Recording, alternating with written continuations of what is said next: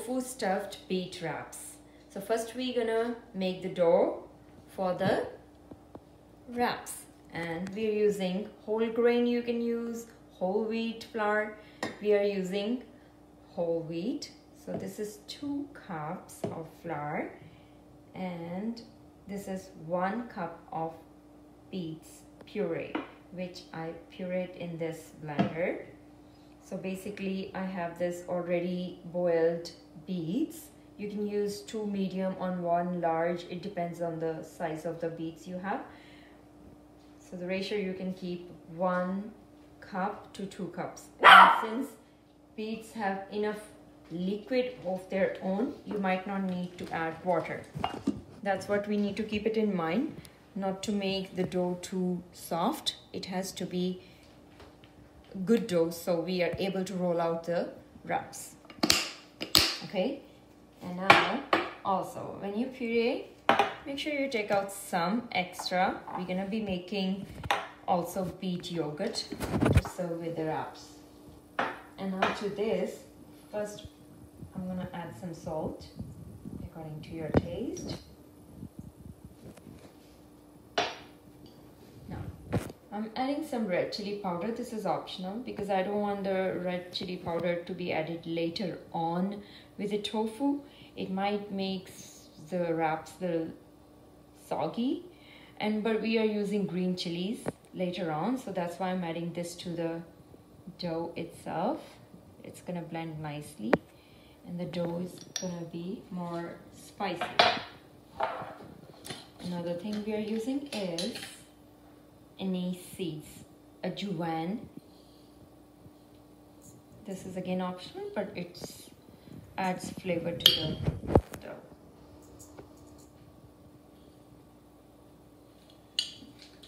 If you want, you can add this to, straight to tofu as well. But if you're making it for your kids, maybe they don't like it, you can do this way then. And now this is coconut oil.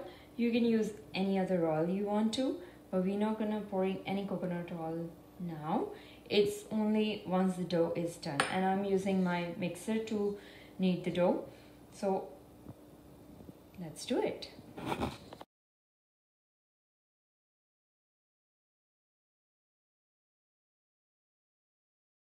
So the dough is done.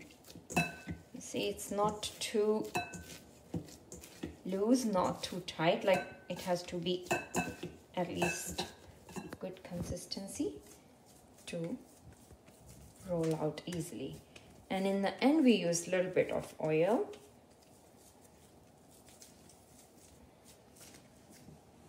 And now we're gonna put the dough in the fridge. That way it will be nice and chilled. Easy to roll out the wraps as well. While we make the stuffing. Okay, now for stuffing, this is the tofu.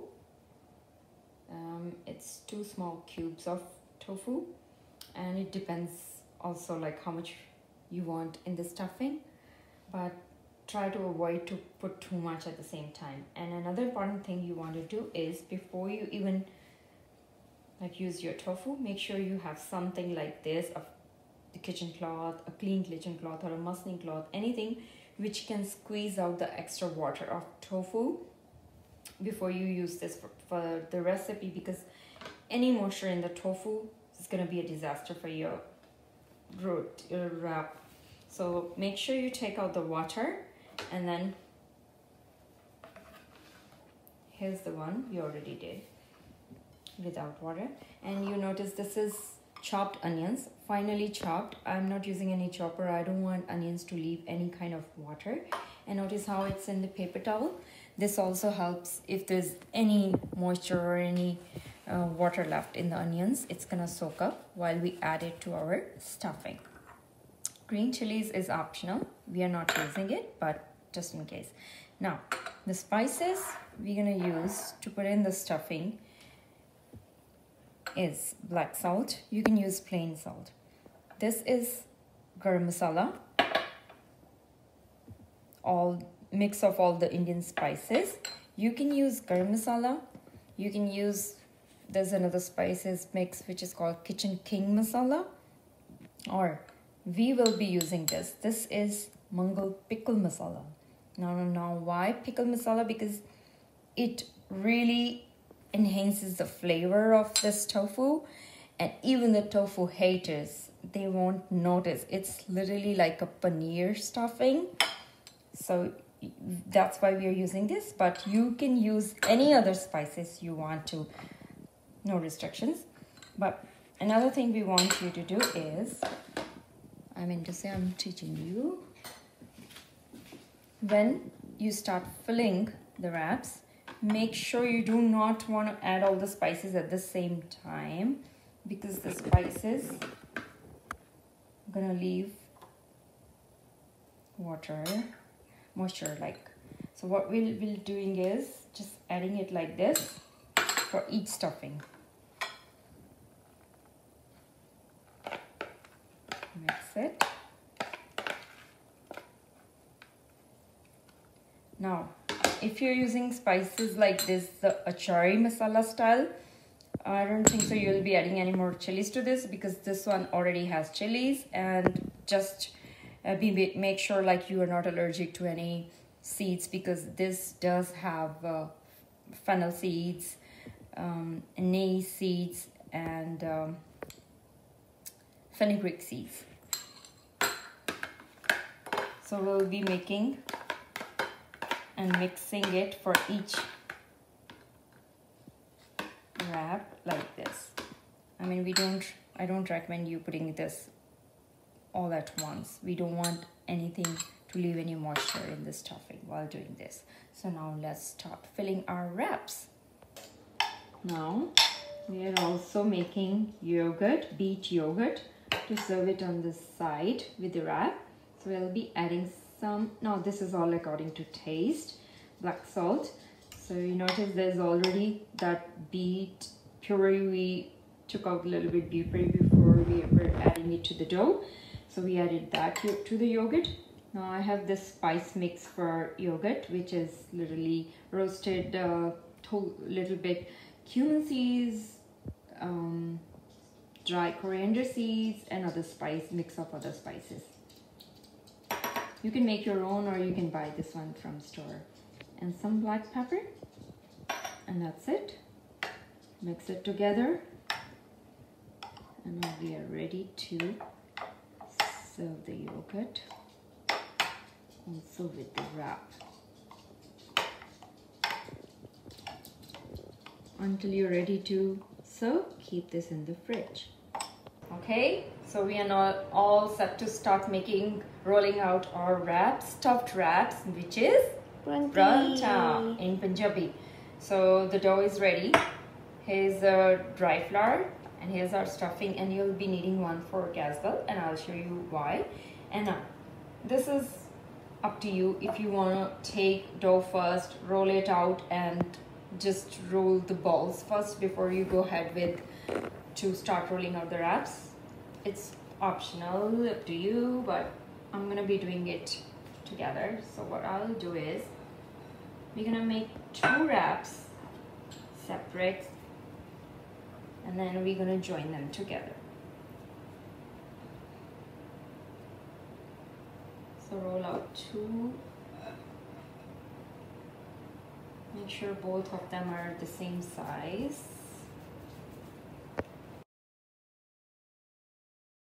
Okay, so now we have two wraps like this. And notice I enough I used enough dry flour because I don't want to keep dipping it again and again. If you think you have not much just put a little bit more but you don't want to use too much. Now I'm gonna take the filling. The idea is that I do not want to roll out the wraps too much after I put the filling. Time save and also comes out perfect oh. filling depends but just keep it simple put this one together squeeze with your hands a little bit sprinkle a little bit of flour all set and now roll it out slowly. Don't go too hard. You don't want the stuffing to come out. Now using the fork, this is optional. You see how this is all nicely like joined together. But if you think it's not, you can use this. And this add another flavor, um, not flavor, sorry, design to the pranti. Mm, mm, mm. And that's it. The pan is already on the stove on low. It's all warm. Let's just put our pronti right there now. Mama, can Yes, you sweetie? give me a tip on how to make these so yummy faster? Faster is organization skills. Oh. Why? Because you see, I have space to work with, so I'm glad. Um, what I do normally is I wrap out, I mean, roll out the wraps to quickly cook. Now I have almost three ready to go. One is already, which we're gonna show you later in a minute. It's gonna be done. So this is easy way to cook faster. Now I can just stuff and quickly make it well. Mmm, so smart. Yeah. Thanks, Mama. Okay, let's now move on because our pranti is done. The one we're gonna serve now. Yeah. Rinse, take out the extra flour if you think there's any. Bring it to medium to high. And now ਮੰਮਾ ਨੇ ਕੀ ਸਿਖਾਇਆ ਕਿ ਤੁਹਾਨੂੰ ਜੈਤੀ cooking ਕਰਨ ਨੂੰ ਤੁਸੀਂ ਕੀ ਕਰਨਾ ਸਾਰਾ ਕੁਝ ਜਲਦੀ ਜਲਦੀ ਆਰਗੇਨਾਈਜ਼ ਵੀ ਕਰਕੇ ਰੱਖਣਾ right Mhm. So, what do we have here? Oil, a brush. That's why we're using brush. So it's less oil Less because we oil. don't like too much oil on um, protein, right? Mhm. And you notice like how there's a foil here, Mhm. and the reason is if there's anything like any oil drops, it literally don't go on my stove, and I don't have to worry. And if you're not serving it right away, you can always just put a paper towel in the container and foil underneath. The paper towel literally takes away all the moisture, if any, comes from the pronti. You can keep it in the container and warm it again, serve it later, or keep it in the fridge, serve it next day. Mhm. So one side done, goes another side, and we'll be using very less oil to finish up our roti. So this is done, and now we are spreading a little bit butter because we didn't use really too much oil. This is optional, and we'll using our pizza cutter because this way it's nice the done plate. I mean, it looks nice to plate the roti. You wanna do like this. And here's our yogurt. You can serve it with some pickle as well if you like to. And that's it. It's done. Yum.